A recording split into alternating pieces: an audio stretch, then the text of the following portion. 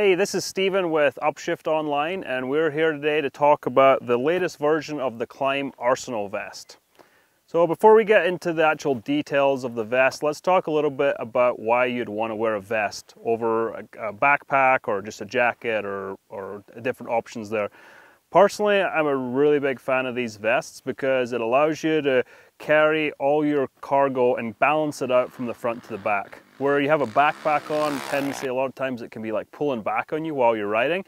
Whereas with the vest, you can put some more weight in the front pockets and it just balances you out front to back. Uh, it's pretty awesome. It's got a hydration pack in the back, so you've got all your water for a long day ride. You have four pockets in the front, so it's great for easy to access things. You can put your phone in reach, some snacks, different things in the front. And then in the back, there's two big pockets for those kind of harder to reach items. You can have put fuel in there before, maybe a bottle of Gatorade, something like that. And then we have a tool pack that's strapped on the very back for all our tools and essentials should we need them. So some other refinements that's been made to this uh, Arsenal vest is the MOLLE webbing. This is now a standard MOLLE spec uh, spacing. Um, this is pretty cool because it just really makes the vest very versatile. You can clip all kinds of different things to it. Um, I've used, put an inReach up here in the past. You can, this kind of the sky's the limit with uh, what you can do with it. Um, other changes that they've made is added the double head zippers on all the pockets, so it makes it easier. You got two options, it's easier to find a zipper. Um, and we've also added a third strap on the back for the toolkit, so it's just a little bit more secure and um, more likely to stay in there.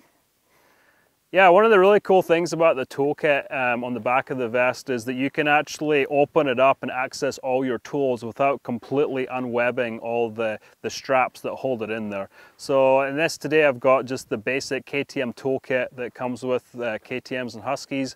Um, it's pretty awesome. There's pretty much all the tools that you need there to, to do any maintenance that you would need on the trail and fits in that tool pack really nice. And it's awesome just to have those tools and um, be prepared should things happen out there.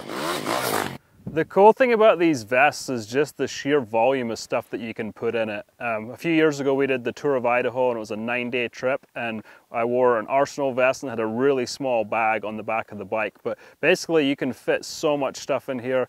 Big back pockets, you can put flip-flops in there or water, Gatorade, whatever.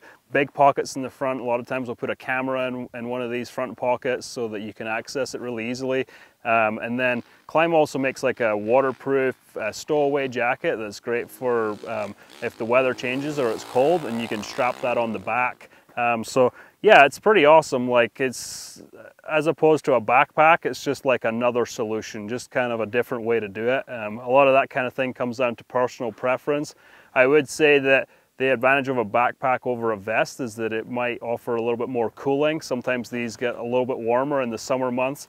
Um, Klim has done like the best job possible with adding venting uh, to the front of the vest to get as much airflow in as possible. But when compared to a backpack, obviously just with two straps, you're going to get more kind of frontal airflow.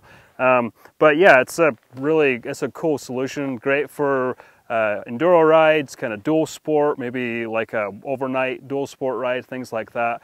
Um, you can fit all your stuff in here and um, be prepared out on the trail. So these Arsenal vests, they're not size specific, it's one size fits all, but there is a ton of adjustability in the vest, so it does fit a lot of different size people.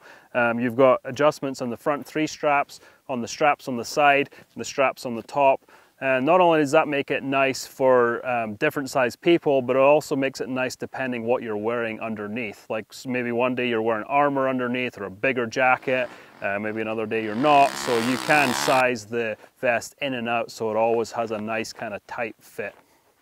Well, thanks for watching. I hope this was informative. Um, if you have any questions or comments, please leave them below and make sure you subscribe to Upshift and keep an eye out for our monthly online magazines.